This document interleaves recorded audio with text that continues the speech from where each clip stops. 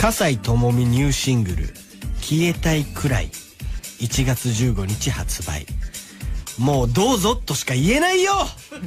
テレビ番組の企画では途中で消え写真集も発売日前に話が消え AKB からもいつの間にか消え今度は何から消えたいの？芸能界なんだこれおい！気持ちいいですね。辛辣だな。